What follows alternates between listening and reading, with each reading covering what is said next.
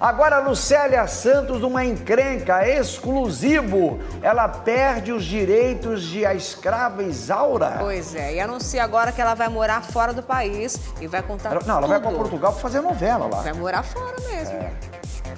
A estreia da peça Um Beijo em Franz Kafka, no Rio de Janeiro, tirou muita gente de casa, como a atriz Lucélia Santos, que aos 62 anos surgiu toda estilosa e chamou a atenção pelo visual e, claro, também pelo bom humor.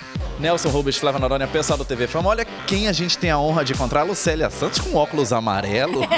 Gostou? Não. Muito fashion. Você gosta dessa coisa de diferente, moda, colorido? É, não, eu gosto de, de coisas que tenham humor. É, um óculos amarelo tem humor. No evento, a câmera do TV Fama flagrou Lucélia ao lado do ator Edwin Luiz.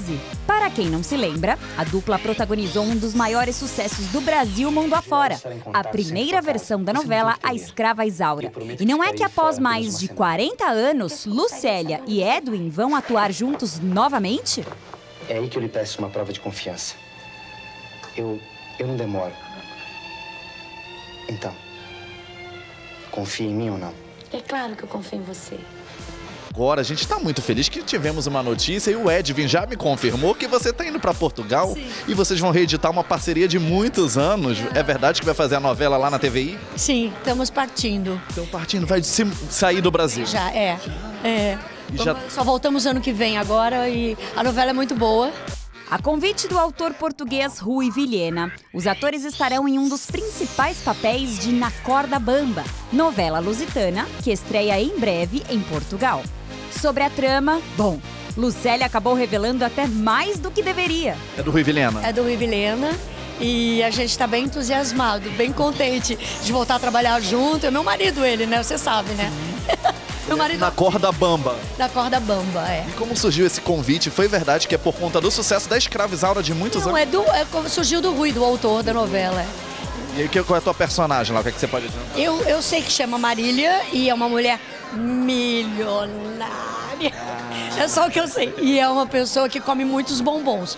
É uma novela sobre é, sequestro e roubo de bebês, de crianças. É bem. Você vai estar no meio do sequestro? Eu não posso contar e eu não vou fazer spoiler dela. Não vai pensar em abandonar a gente de vez, não? Não, eu não abandono o Brasil, mas assim, gosto de passar uma boa temporada fora, principalmente agora.